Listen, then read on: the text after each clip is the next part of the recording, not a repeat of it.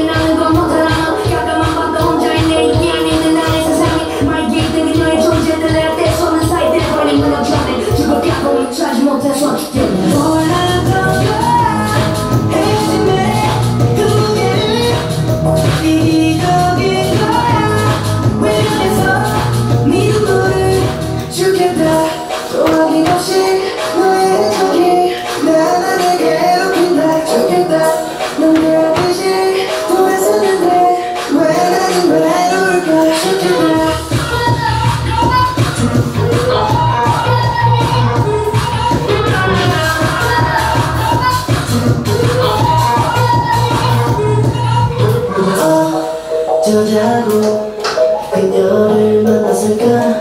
아, 또 어쩌려고 이별을 택했